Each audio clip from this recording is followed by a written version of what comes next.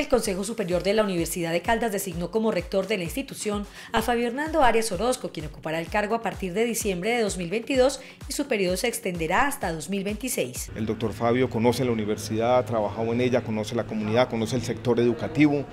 está interesado en unir la educación preescolar básica y media con la educación universitaria, que para mí es muy importante. Fabio Hernando Arias Orozco es economista, especialista en comercio y negocios internacionales de la Universidad de Manizales y magíster en creatividad e innovación en organizaciones de la Universidad Autónoma de Manizales.